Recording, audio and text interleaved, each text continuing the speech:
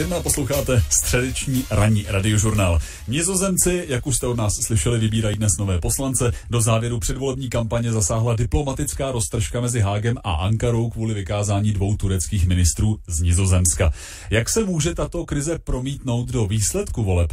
O tom budu mluvit v ranním interview s analytičkou Asociace pro mezinárodní otázky Anou Kuznickou. Dobrý den.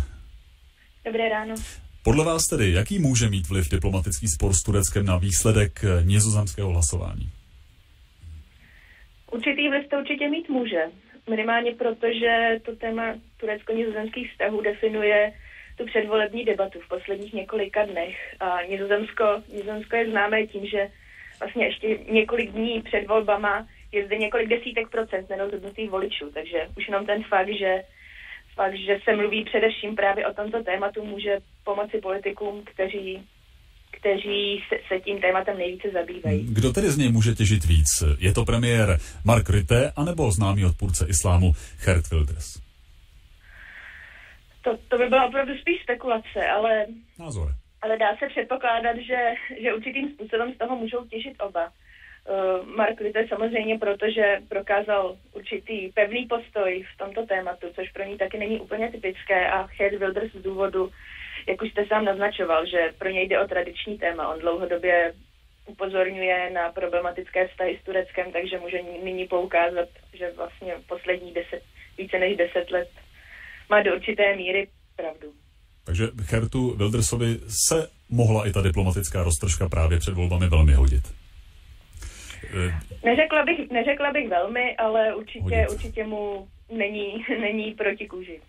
Jakou roli ve volbách vůbec hraje otázka muslimů a přistěhovalců, kterou zdůrazňuje hlavně Gerd Wilders? To téma islámu, přistěhovalství imigrantů bylo hlavním tématem hlavně na začátku voleb, kdy, kdy ho zdůrazňoval právě Gerd Wilders, ale nejen on, i další pravicové strany, ať už liberálové Marka Ritteho, tak do určité míry i křesťanští demokraté, kteří vlastně s Wildersem podle těch průzkumů bojují o druhé místo. Nicméně postupně s tím, jak Wilders se vytrácel z kampaně z několika důvodů, ať už šlo kvůli, kvůli nedostatku prostředků, kvůli tomu, že neměl dostatečno, nemá dostatečnou členskou základnu, takže je pro něj obecně těžké vést ty kampaně v jednotlivých měst, tak, tak to téma se postupně vytrácelo, začali ho nahrazovat, řekněme, více uh, nizozemská čistě nizozemská témata, jako jsou eh, soci, sociální otázky, jako je zdravotnictví, školství. Z vašeho pohledu, jak se proměnilo v posledních měsících nebo i letech Nizozemsko ve vztahu e, právě třeba k uprchlíkům nebo k lidem, kteří se do země nově přistěhovali? E, proměnilo se to myšlení Nizozemců, kteří jinak patří mezi velmi otevřený a tolerantní národ? Já si myslím, že toto se v médiích možná trošku přeceňuje, protože uh, v Nizozemsku je velké množství uh, přistěhovalců už opravdu velmi dlouhou dobu. Takže, uh, takže mluvit vlastně o tom, že třeba tyto volby jsou v tomto něčím výjimečné a ten Wildersův relativní úspěch uh, by mohl, by mohl ukázat, že, že se právě to vnímání mění, tak to si myslím, že není úplně přesné. Mm-hmm. Může třeba ten Wildersův úspěch eh, pak povzbudit další odpůrce Evropské unie, zejména před nadcházejícími volbami ve Francii a také v Německu, jak o tom mluví někteří odborníci a některá média? Tak otázkou samozřejmě je, co, co vůbec je Wildersův úspěch. Wilders za něj zřejmě označí jakýkoliv svůj výsledek. Mluvám se. Ale uh, pan, tak samozřejmě záleží především na tom, jako budou ten výsledek interpretovat média, protože ten Wildesův relativní úspěch případně může právě zapadnout do té určité představy, že se jedná o nějaký fenomén úspěchu těch takzvaných populistických uskupení.